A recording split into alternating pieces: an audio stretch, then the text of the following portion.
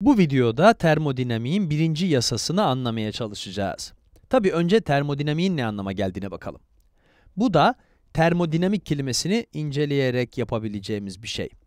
İlk kısım termal yani ısı ile alakalı, termo kısmı. Bu kısım termodinamiğin sıcaklık ile alakalı olduğunu bize açıkça belli ediyor, değil mi? İkinci kısım dinamik ise esasen sıcaklığın özelliklerinden yani nasıl hareket ettiğinden ve nasıl davrandığından bize bahsediyor. İşte termodinamik aşağı yukarı bu anlama geliyor. Yani enerji ve iş ile ilgilenen ısı ve sıcaklık bilimidir. Ve enerjinin farklı formlarının nasıl birbirine dönüştürüldüğünü inceler. Aslına bakarsanız bu, termodinamiğin birinci yasasının kalbini oluşturur. Buna enerjiye giriş videosunda biraz değinmiştik. Termodinamiğin birinci yasası, enerjinin yoktan var edilemeyeceğini ve vardan yok edilemeyeceğini söyler. Bu çok önemli bir nokta, o yüzden yazalım. Enerji var ya da yok edilemez.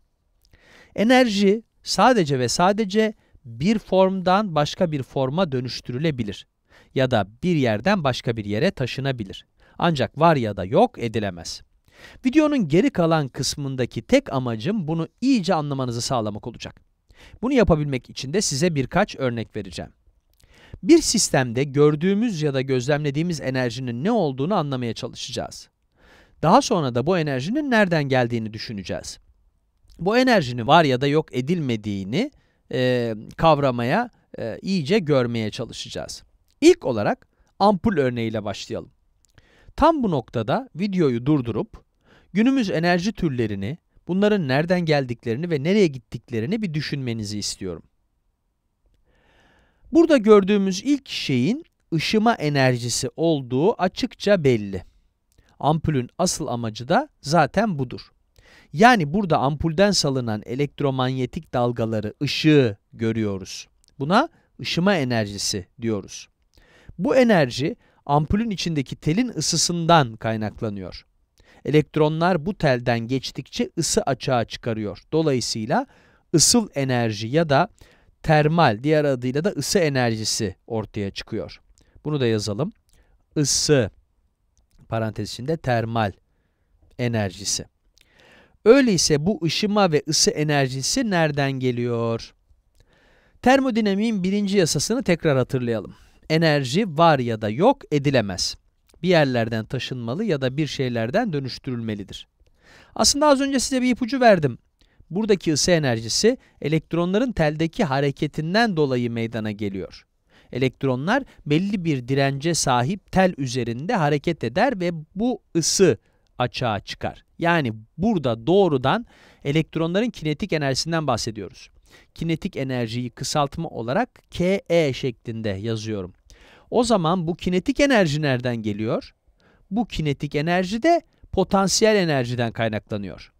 Mesela bu ampul bir prize takılı olsun. Evet, şuraya güzel bir priz çizeyim. Prizde bu iki termal arasında bir elektrostatik potansiyel var. Dolayısıyla bunu prize taktığınızda elektronlar hareket eder. İlerleyen videolarda AC alternatif ve DC direkt akım ile ilgili konuşacağız. Elektronların hareket doğrultusunu bu yönde kabul edersek, bu nokta ile bu nokta arasında bir elektrostatik potansiyel mevcut. İşte bu potansiyel enerjiyi elektrik akımı formunda elektronların kinetik enerjisine dönüştürüyoruz. Bu kinetik enerji de daha sonra ışıma ve ısı enerjisine dönüşüyor. Ampulü çektiğinizde ne oluyor? Işık sönüyor, her yer karanlık oluyor. Peki onca enerjiye ne oluyor? Enerji hala orada duruyor mu peki?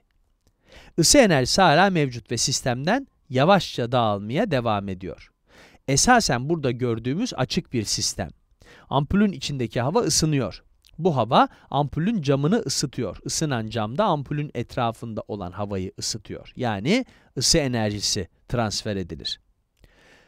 Işıma enerjisi de dışarıya doğru hareket eder ve o da diğer enerji türlerine büyük olasılıkla ısı enerjisine dönüştürülür. Aslında ışıma enerjisi de diğer şeyleri ısıtır ve ısı enerjisine dönüştürülür. İkinci örneğimiz bir bilardo masası. Mesela buradaki gibi bir bilardo topuna vurursam enerji nereye gidecek? Enerjinin bir kısmı başka bir topu vurmak için kullanılabilir.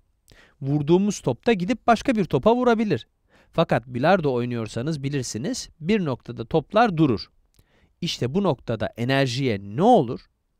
Toplar yuvarlanırken hava direnci ile karşılaşır. Yani etraflarındaki hava moleküllerine çarpar ve bir sürtünme oluştururlar. İşte bu enerji ısıya dönüştürülür. Sıklıkla karşılaşacağımız konulardan biri de sistemler ilerledikçe enerjinin büyük kısmı iş yapmak yerine ısı enerjisine dönüşme eğilimindedir. Bu eğiliminde olduğu yani bu, bu konuyu konuşacağız. Yani bu bilardo topları hareket ettikçe etrafındaki hava molekülleri yüzünden kinetik enerjinin bir kısmı ısı enerjisine dönüşüyor. Bunun dışında masa ile top arasında da bir sürtünme oluşur. Masa ile topun molekülleri birbirine sürtünür ve dolayısıyla bu da ısı enerjisine dönüşür. Bu şekilde kinetik enerji sürtünme sayesinde ısı enerjisine dönüştükçe eninde sonunda kinetik enerji kalmaz. Şimdi de bu halterciyi düşünelim. Halterci, kaslarında bulunan kimyasal enerjiyi yani ATP'yi kullanır. Bu enerjiyi kaslarını hareket ettiren kinetik enerjiye dönüştürür. Kinetik enerjiyi de bu ağırlığı kaldırmak için kullanır. Peki ama bu pozisyondayken bütün bu enerjiye ne olur? Enerjinin büyük kısmı potansiyel enerji şeklinde depolanır. Esasında halterci bu pozisyondayken kafasının üzerinde koca bir ağırlık taşıyor. Eğer bu ağırlığı birden bırakırsa ağırlık çok hızlı bir şekilde yere düşer. Yani bu durumdayken enerjinin büyük kısmı potansiyel enerji şeklinde depolanır. Fakat aynı zamanda haltercinin kasları ısı da üretir.